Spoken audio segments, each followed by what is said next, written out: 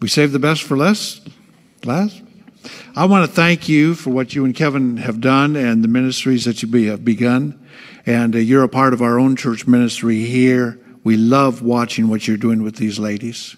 Share with us. Um, you're going to ask what seven bells means, so I'm going to let her share. Let me ask you, what does seven bells mean? Not everybody knows. It's a very unique little answer, okay? And she says it best.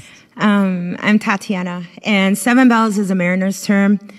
Uh, it's for seafarers and people lost out at sea. So the sounding of bells is an accounting of time. So the seventh bell is before the last bell when it is too late.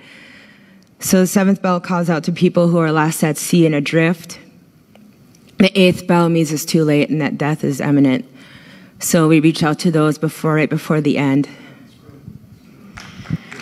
This is Tatiana Hart, and she is the engine of Seven Bells. For people who want to know how Seven Bells got started, I used to work for another ministry, and she came to me one day and said, God has called me to pray for you. And she would sit in my office and pray in the spirit for hours and hours and hours until I got clarity in my mind. And then he launched us both out of there and she continues to pray for eight hours a day in the spirit. And she does this on youtube channels for anyone else who wants to be prayed over in the spirit. It is on seven bells uh, youtube channel so she is basically i just work to keep up with what happens from that so I tell people she's the engine and I'm just the worker bee. So I just work to keep up. So we are, I have um, been part of this church for 21 years and I really am a worker bee. I just work. And I, um, um, we are both people who come from very serious addiction and both recognize we should be in hell right now and are passionate for those who are chronically lost in addiction and hopelessly confused and mentally challenged. And so, what we have sought to do is bring hope and freedom to those who are um, lost. And we get many, many calls from that group of people and those who love them.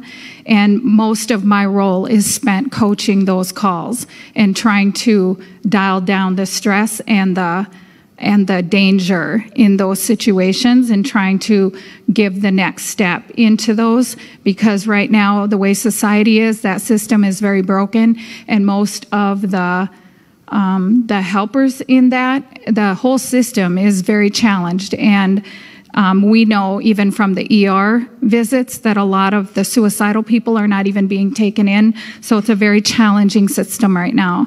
So our ministry is one thing it is to believe for the miraculous. We were fortunately in this church given to pastors, Pastor Eugenia and Vito Kashubin, who taught us how to do prayer ministry and deliverance, do the word, believe the word, and speak the word, and believe the word, and do the word some more, and read the word, and do the word, and pray the word.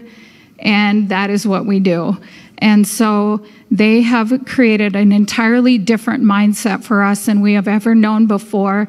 And we are eternally grateful to this church and to them for just kind of reworking our entire the way that we have ever learned to do ministry. We are so grateful. And so that's what we do. We just um, a lot of these people we bring them to the house that we that she lives at and we operate out of and we just um, we do the word and we believe for the miraculous and we believe it that God will touch and heal the mind and the power of the Holy Spirit will heal in a moment like he did me, like he did her. And that's what Seven Bells is. So, and we do have a women's night on Monday nights where if you come at six o'clock, we pray, and at 7 o'clock we do Bible study, and we do a live stream on our Facebook page at around 8 o'clock or 9 o'clock. And, and so if you're a female and you want to join us and learn with us, we do Monday nights. So that sounds like discrimination. So, sounds like discrimination if you're a female. Yeah. Okay, all right. I do see men at Metro Hope. I'm there Tuesdays and Thursdays, but only women at our house. So Okay. These guys are intense.